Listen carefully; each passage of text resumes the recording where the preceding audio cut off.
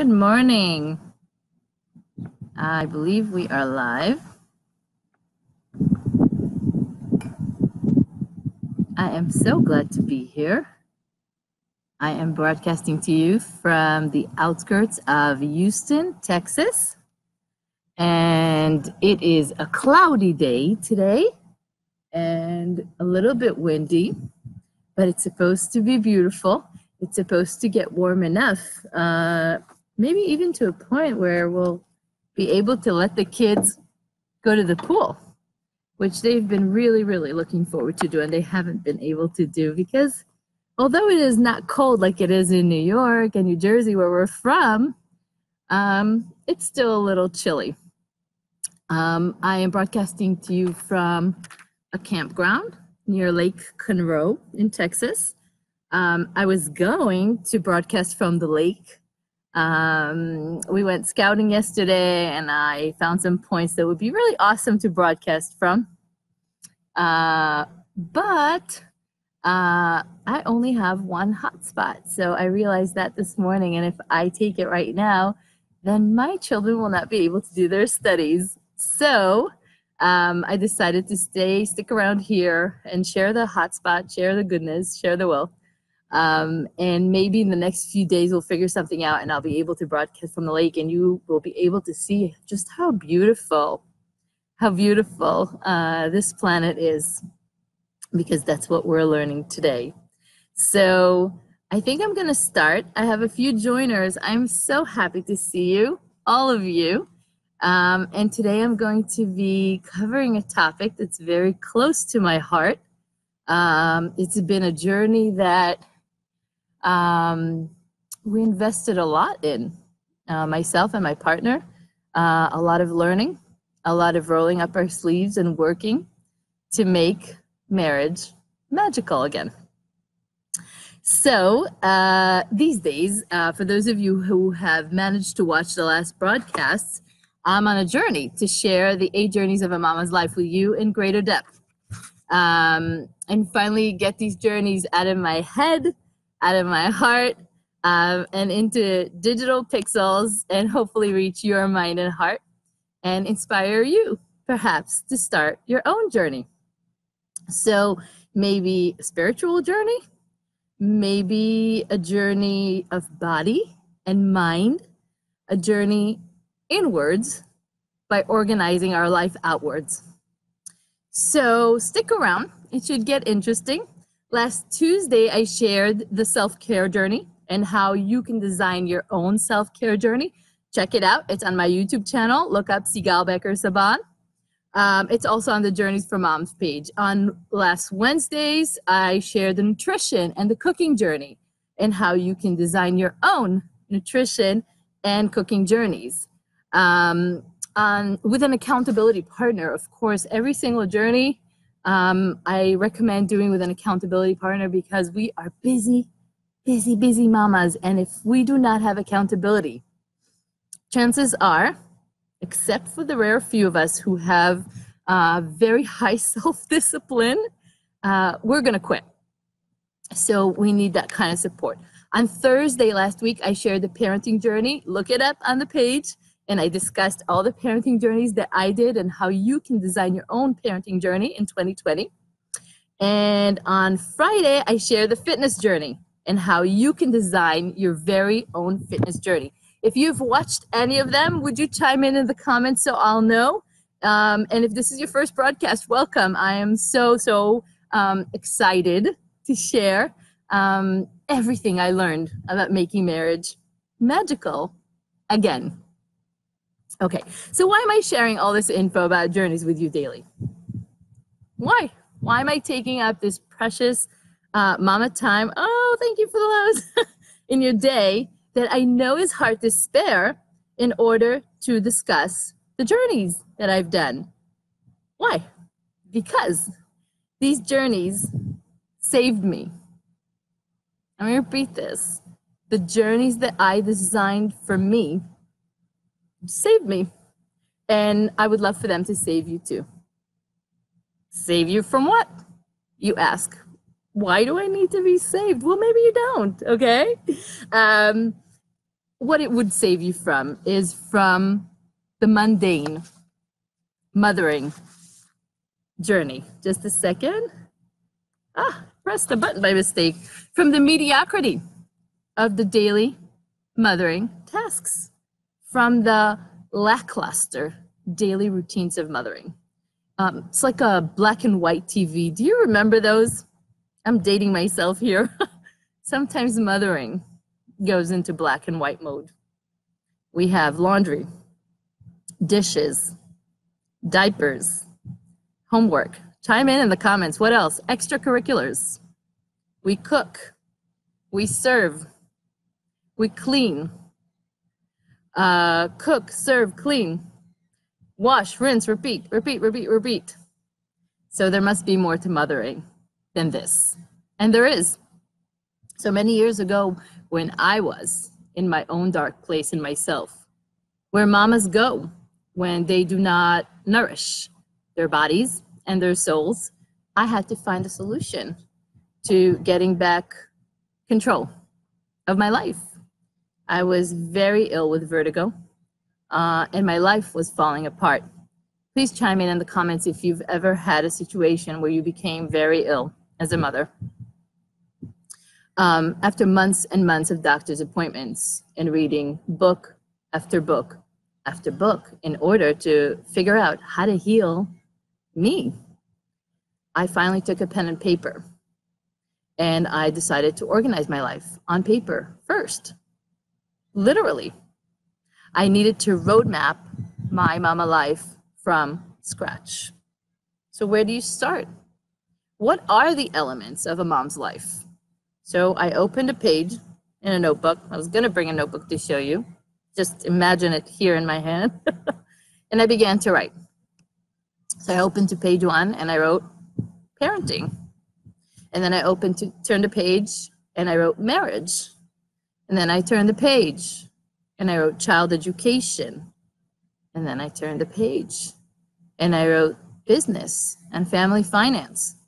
And then I turned the page and I wrote home station. And then I turned the page and I wrote nutrition and cooking.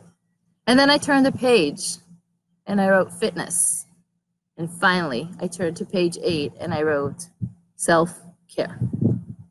So now I had eight pages, each with its own title that describes an element in my mama life that needs deeper introspection and deeper reflection. Okay, now what? What do you do? Well, now I had to fill the page with a roadmap or a plan, uh, step by step, just like you would organize a big cupboard and give your attention to a different drawer every time. So is this making sense so far? Please chime in in the comments so I'll know. Is this resonating with anyone? And I'm to keep telling my story as I await your comments. So I started filling out page after page with my thoughts and my ideas and my plans for how to improve that element in my life. So after brainstorming on each page and just jotting down, jotting, jotting, jotting ideas of how to improve each element of this life, I needed to tie things together into a step by step by step plan, a journey out of my own darkness. And that is how magical journeys were born. Because if you want to get somewhere in life, in your mama life, you need a roadmap and you need a destination. It's the basics of traveling. It's the basic of transforming from one place to another, whether it be physically or spiritually. So if my life is a mess and I have no roadmap, how in the world will I ever reach any destination? So Granted, I could hire a coach who can help me with each of these categories. Back then, when I was healing myself, so I could hire a fitness coach to help me with fitness. I could hire a nutrition coach to help me with nutrition. I could hire a parenting coach to help me with my parenting. I could hire a marriage coach to help me with my marriage and on and on and on. But honestly, this was not within our means. It just wasn't. So it finally hit me. I am my own coach, and I need to coach me out of this mess that I have created unintentionally. Because no one teaches you how to create an amazing and empowering mama life, right? Most of us are just winging it. We're in survival mode. We either replicate what we saw our own moms do, or we rebel and we do the exact opposite of what we saw our moms do. But there are so many more options for creating a magical mama life. And I'm here to share those with you because if I can help one mom, maybe it's you, and show her the magic of the journeys in her own life, in her own home. Yeah, yeah, between the pile of laundry waiting to be folded and the pile of dishes waiting to be washed. You see those piles, don't you? And the baby whose diaper needs to be changed, somewhere in between all of those. And within all of those lies magic. And we're here to invite that magic into our life today, into your life today. All right, so today we're going to dive into the fifth journey, journey number five out of eight, the marriage and relationship journey. And at the end, I'm going to be sharing a challenge for those courageous enough to embark. you can find and print the challenge uh, in the first comment. I'm going to add it uh, as soon as the broadcast is over. So it's just print and go. Uh, so let's talk about the marriage journey, shall we? Are you ready? Chime in in the comments, please, if you are ready for me to start discussing how to make marriage magical again. So Marriage. This is not an easy journey, is it? No one tells you when you're in the process of buying that white dress and that tuxedo that this will be the easiest part of the marriage journey. Certainly didn't feel that way.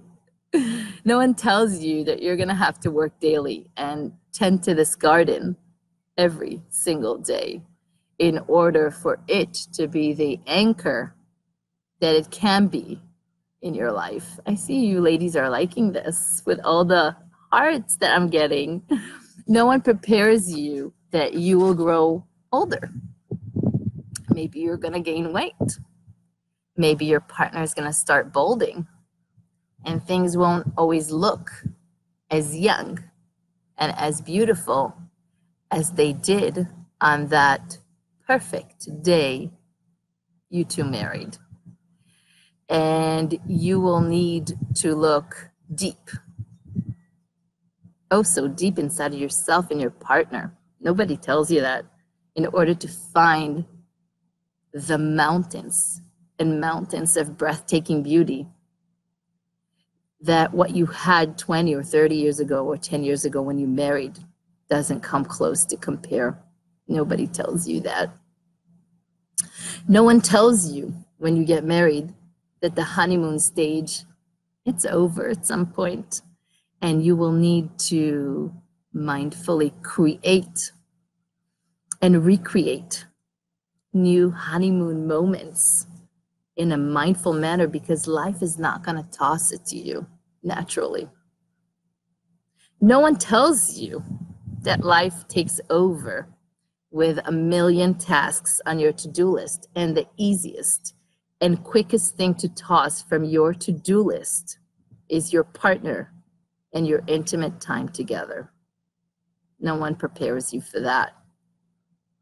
I'd love your thoughts in the comments about that. no one tells you all that. this and many other uh, secrets uh, of a long-term marriage or a relationship they're not often spoken about and you really have to persist in your relationship and approach it with high levels of curiosity in order to uncover and dis- discover these wonders so are you ready to hear about some making marriage magical again journeys so um, when me and Guy, uh, who maybe I'm going to invite to one of these journey talks so you can meet him and he can share his perspective. Uh, would you like that? Would you like him to come on? Please uh, chime in in the comments. So when me and Guy realized that um, we would like to embark on making marriage magical again uh, journey, we listed the following ideas that I'm going to share with you right now. So we literally opened a notebook and started writing ideas. How do we make our marriage magical again. Okay, so you ready for this? All right, so idea number one that we jotted down long, juicy conversations daily. Talk, talk, talk, talk, talk, talk, talk. Open communication daily, every single day, seven days a week.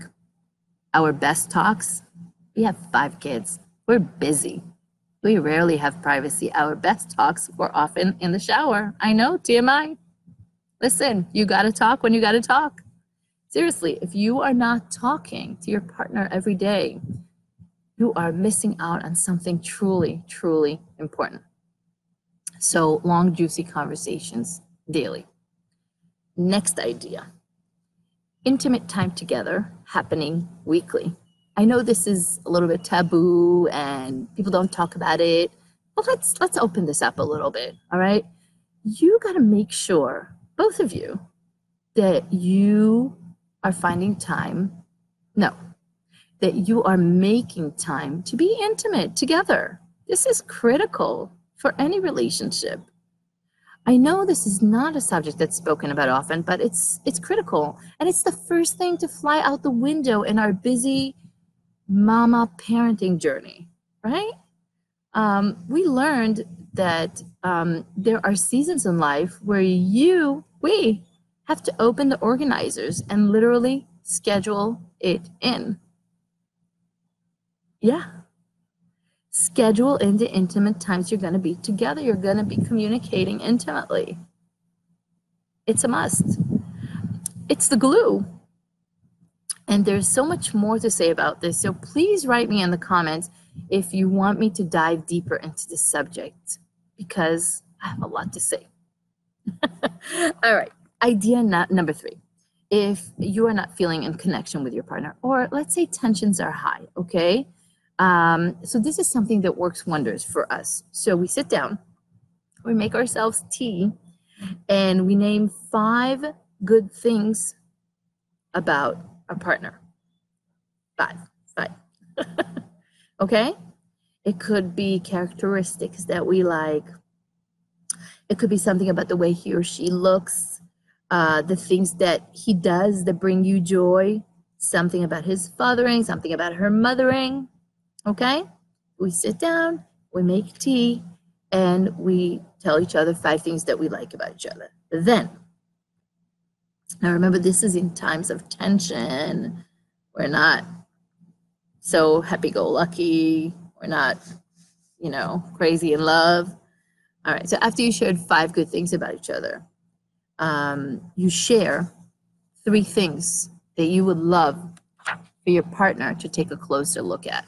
So, in other words, three things that make you uncomfortable or you're not happy with. And then your partner shares three things that he's uncomfortable with um, or he's not happy with. And he would like for you to um, take a closer look at, maybe change, maybe improve.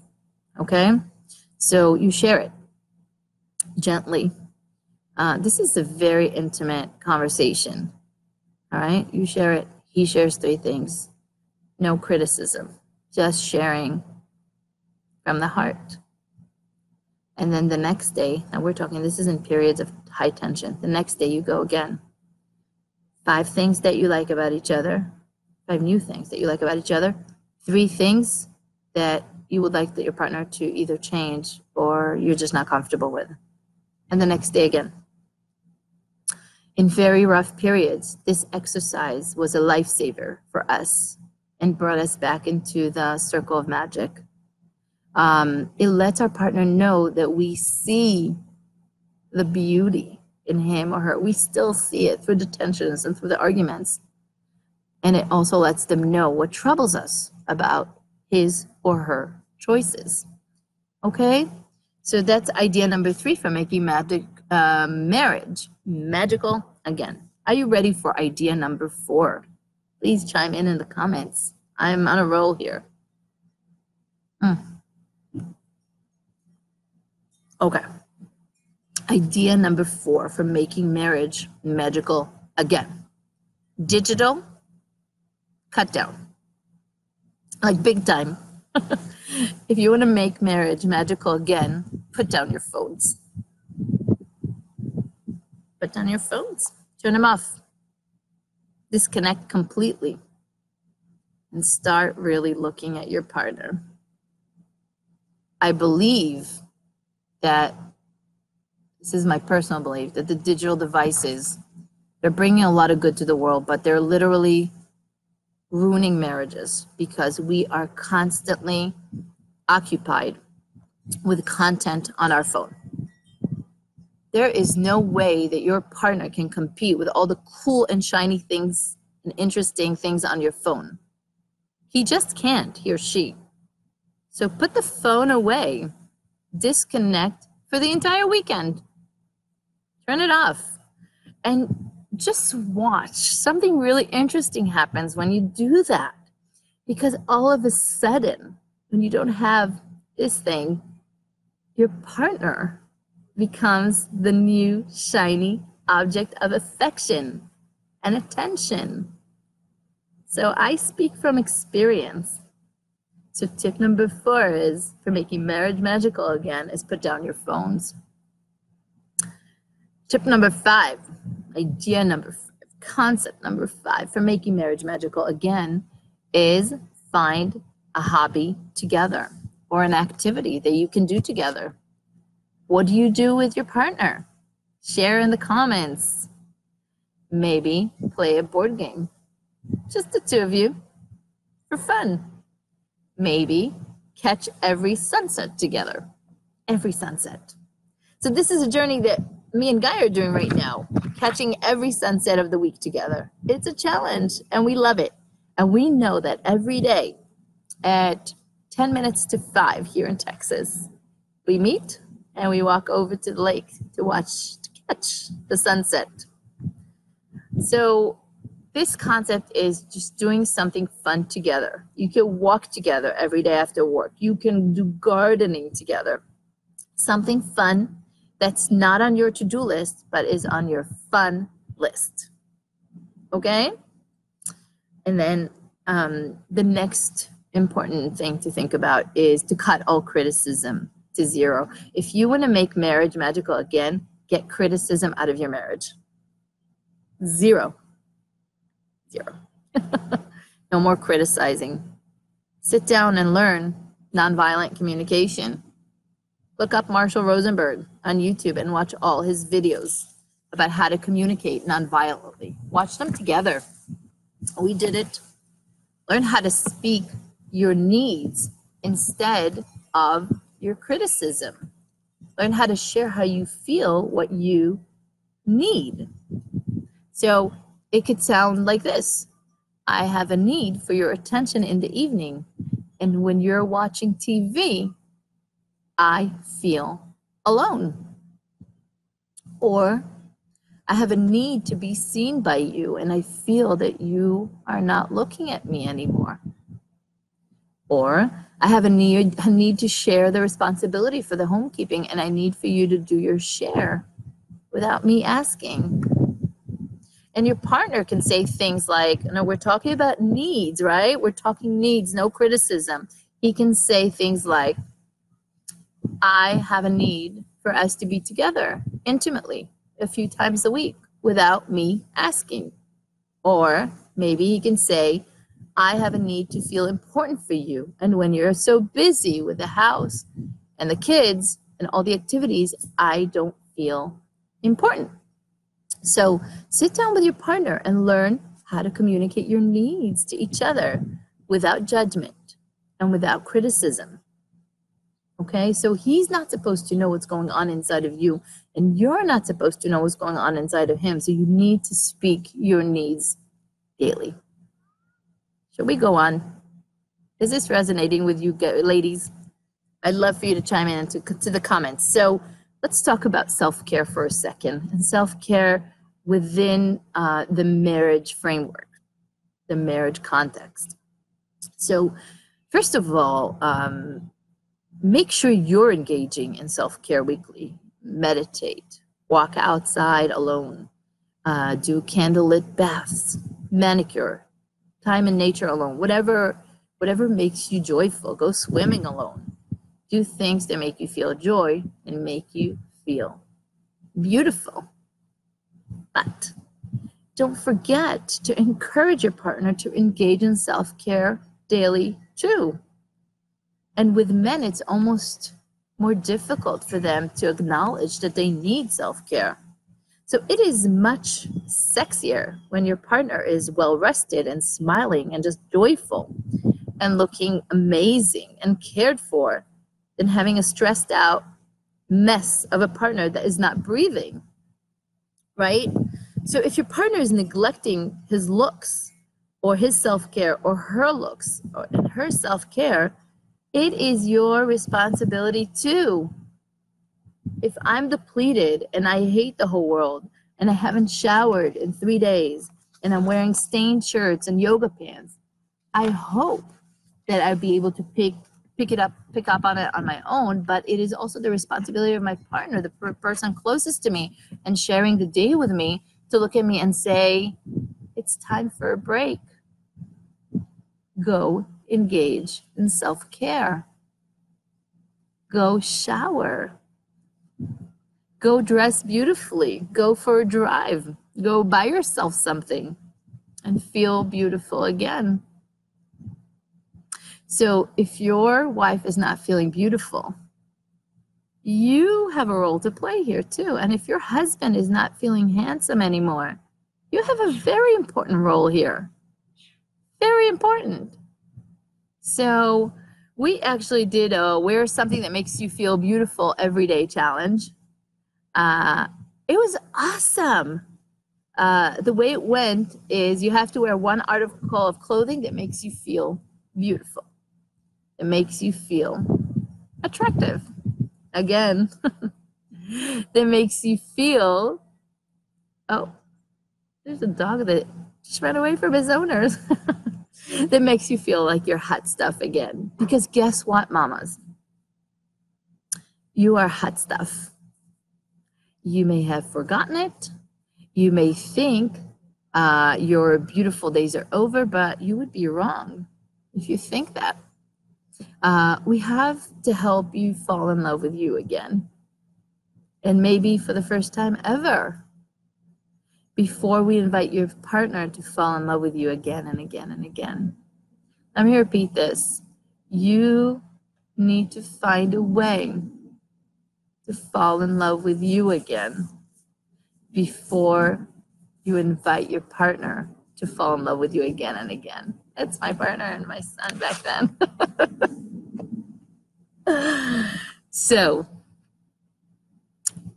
the next step in making marriage magical again is make your partner your number one priority. That's simple. Put him or her first every day. Send them text messages, make them a meal, fix their side of the bed for them, surprise them, make them feel important. Literally say it once a day, every day, in your own words. You are so important to me. I am the luckiest woman in the world to have found you. You matter so much this family would not be the same without you. without your wisdom, without your magic, I would not be the same without you. You are the love of my life. If you're not at a point where you're able to say those things out loud, and I have been at a point where we were not able to say those things out loud because there was too much tension, then it is time to roll up your sleeves and start tending to this garden every single day again. So start with a small journey.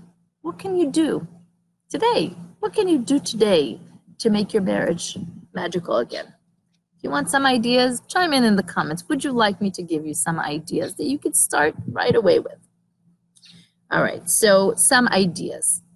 So we have the text each other a love text once a day journey. Chime in if you like that one. We have the sit and have tea together once a day journey. We have the shower together once a week journey. We have the meditate together once a week and then discuss journey. We have the write together once a week and then share journey. We have the smile to each other once a day journey. We have the go for a walk together once a day journey. We go the leave a letter on each other's pillow once a day journey. We have the watch every sunset together journey. We have the watch every sunrise together journey we have the read a book of choice together journey. So the journeys you can do together to make marriage magical again are literally endless. Now, it also depends on what season of your life you're at. So if you have babies, then you cannot do a major dramatic journey to make your marriage magical again. But the magic hides in the little things, in the little journeys. You can text your partner once a day a love text. That is not bigger than life. You can do that. And I think he can do the same. So you get the direction this is going. Making your marriage magical again is not just going to happen. It won't. I waited for it to happen. It won't. it's a journey. It's made up of many, many baby journeys. And from my experience, um, we need to tend to this garden daily. Um, otherwise, it grows weeds and it dries up. And then that's when it's the hardest to make it magical. Again, so I wish you all magical gardens in your relationships and in your marriages. And may 2020 be the year that you make your marriage magical again. May 2020 be the year that you look into each other's eyes and you see little hearts inside again. May 2020 be the year that you and your partner embark on may, many uh, baby journeys to bring back the magic into your love life. And may 2020 be the year that you fall in love again and again and again and again. That's how it works. Because Long term love is this sweet, sweet uh, reservoir that nourishing nourishes um, those that persist on the deepest levels possible. This cannot be seen, this nourishment. It can only be felt. It's very different than young love stories. It is deep it has so much meaning um, and purpose. And it is truly a calling. I am called to serve my partner, and he is called to serve me. And together, nothing can break us. Nothing. This is different than young love. This is mature, strong love that has taken years to build. And this is something you can only reach after climbing mountain after mountain after mountain together. So, marriage, like parenting, requires work.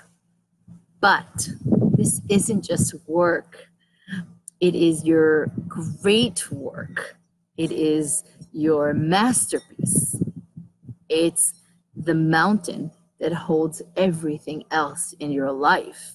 So, make it a strong mountain and make it nourishing for the two of you, like a fountainhead that keeps delivering you an endless flow of joy and youth and sparks and meaning. So much meaning and so much purpose and a desire to serve someone else on the deepest levels and be served and loved like no one has ever loved you before and no one will ever like no one will ever love you again now I leave you and I encourage you and your partner to sit down and plan your marriage journey. Happy journey, Mama. I'm here for any questions about uh, making marriage magical again. I'll hang out for uh, a minute or two and see if anybody has any questions and then we will part. So I'm wondering um, if any of this resonated with you. What are the big challenges of your marriage journey? I would love it if you wrote in the comments what are the two biggest challenges uh, of making marriage magical again for you? Um, what would make a huge difference in your life? What will it take for you to embark on a project with your partner to make marriage magical again. So this and more would be so so awesome to uh, to have you chime in about, and I will be reading all your comments even after this broadcast is over, and I will be replying to your comments after this broadcast is over. So I am looking forward to hearing from you about your own uh, marriage journey, and how you think that you can make it magical again because you can. You really, truly can. And it starts today with baby journeys. Uh, to be continued, there's so much to say about this, and I would love for you to let me know what you would like for me to speak about in our next uh, Journey Talks about making marriage magical again. Talk to you soon, Mamas.